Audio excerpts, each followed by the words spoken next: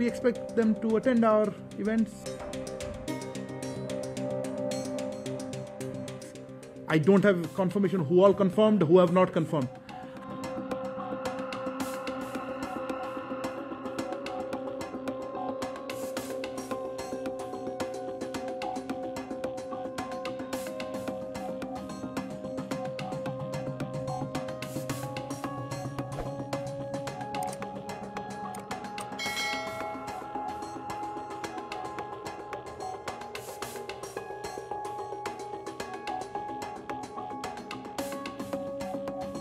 We are, as you know, uh, we hold the current presidency of the SCO.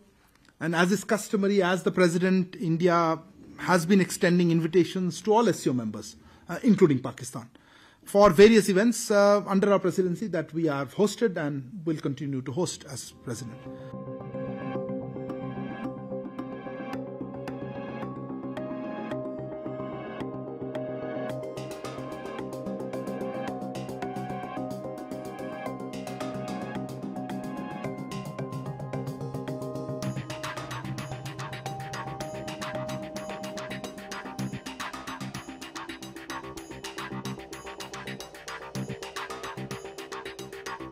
As the events happen, or well before that, we extend invitations to all the uh, participating countries or member countries, and we expect them to attend our events uh, in person.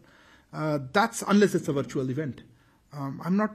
I think Pakistani Pakistani officials might have attended some of these ones. I'll have to check. I think they have. So I'm not sure what you exactly you meant on specific. Um, uh, you know, let's say meetings. I don't have confirmation who all confirmed, who have not confirmed. Huh, so that's it. So you wanted the foreign ministers. Look, I don't know exactly how many have confirmed, who all have confirmed. I don't have the details. The foreign minister meeting is not for some time now.